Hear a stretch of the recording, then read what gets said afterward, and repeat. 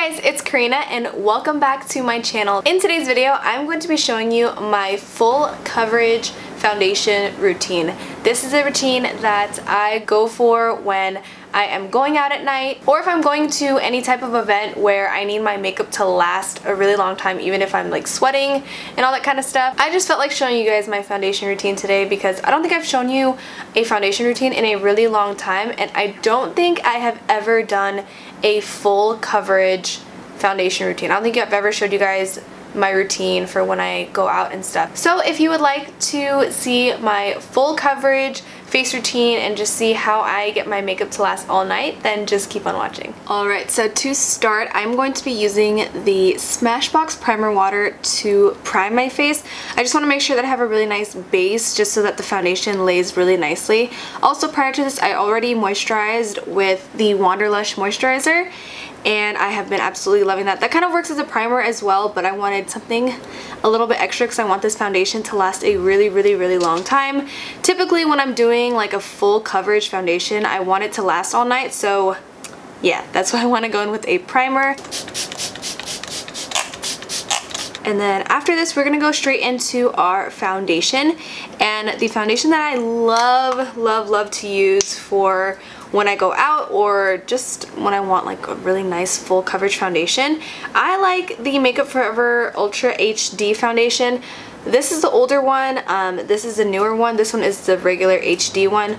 Honestly, I can't tell like a huge difference. I absolutely love both formulas. I am currently in between the shades N123 and 120. So I just like to mix these two together and I just like to apply it with the Real Techniques Beauty Sponge. What I'm going to do today is I'm just going to pump both foundations directly onto the sponge.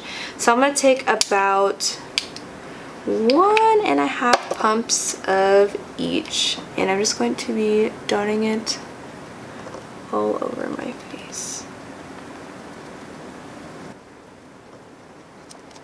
And as you can see right away, this already starts covering up any redness that I have. Because I do have a lot of redness on my face.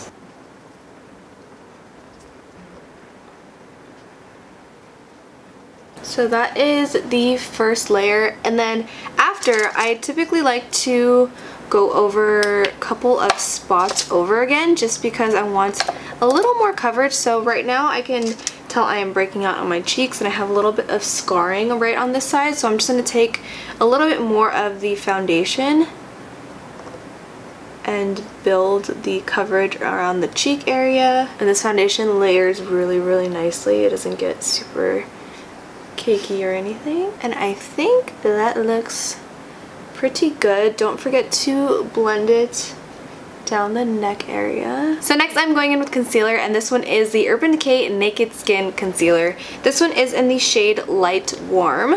I definitely could have gone a little bit darker with this concealer but I really wanted that warm undertone and this was the only one that I found that had a nice warm yellow undertone to it. I'm really really particular when it comes to like the undertones of my concealers so yeah, we're just going to work with this shade today. And I'm just going to be placing this right underneath my eyes into a triangle formation, just like that. And if you find your concealer is too light, you can always mix in a little bit of, you either mix concealers or you can mix in a little bit of your foundation shade into your concealer. And then just take your MAC Fix Plus, spray your Beauty Blender again just to get it nice and damp. And just start blending this out.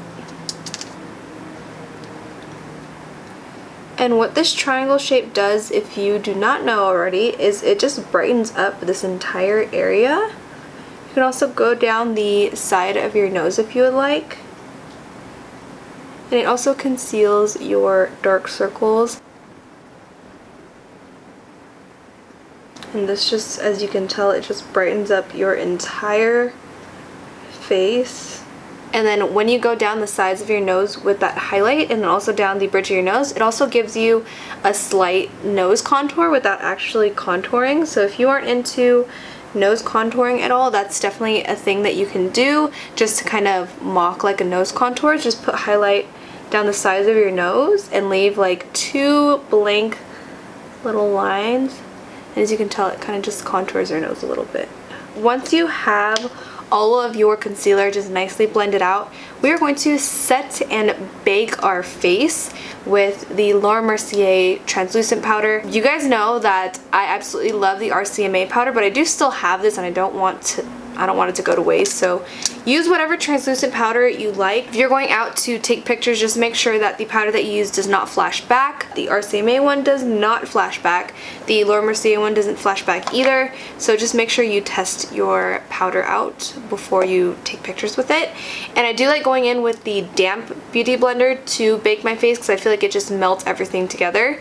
So I'm just going to be taking my Real Techniques sponge, just get some powder on there, look down into a mirror because you don't want it creasing up before you bake your face. And then just press this into the skin. Don't forget to go down the sides of your nose.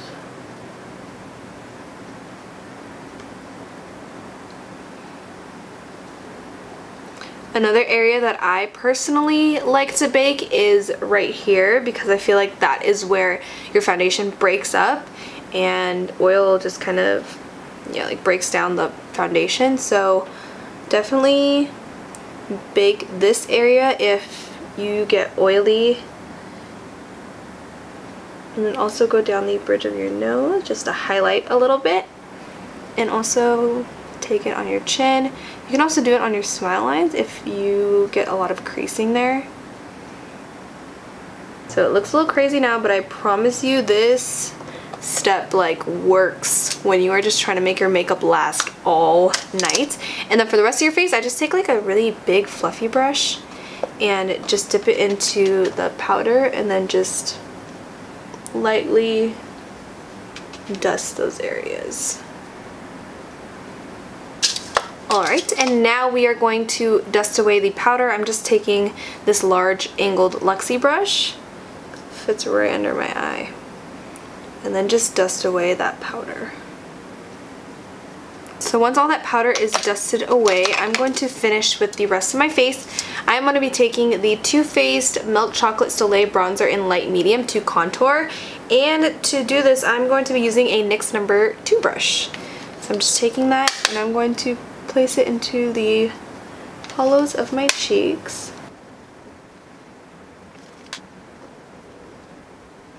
Do not forget your temples. And your forehead. Also, you can do down the sides of your nose. Next, we are going to put on some blush. I'm taking um, let me see, what is this? This is Milani's Baked Blush in Luminoso. Really nice peach color because I have a little bit of those peach tones on my eyes. Wanted to put that on my cheeks.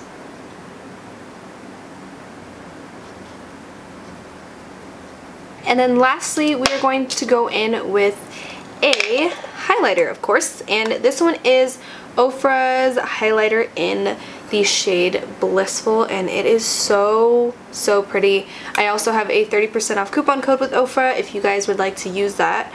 Um, and it brings this blush down, I would say, to less than $30. So I'm just taking that on a Luxie medium fan brush and just placing that onto the high points of my cheek and look at oh my goodness highlight's insane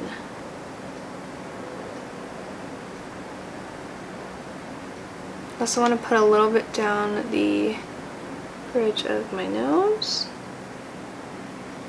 So I'm going to go finish up the rest of my face and I will be right back. Alright, so I am back and this is what the foundation looks like with the rest of my makeup on. I just kind of finished off the lower lash line. I put some inner corner highlight, I did my lips, and I also kind of cleaned up my eyebrows because they got a little bit covered up due to the concealer.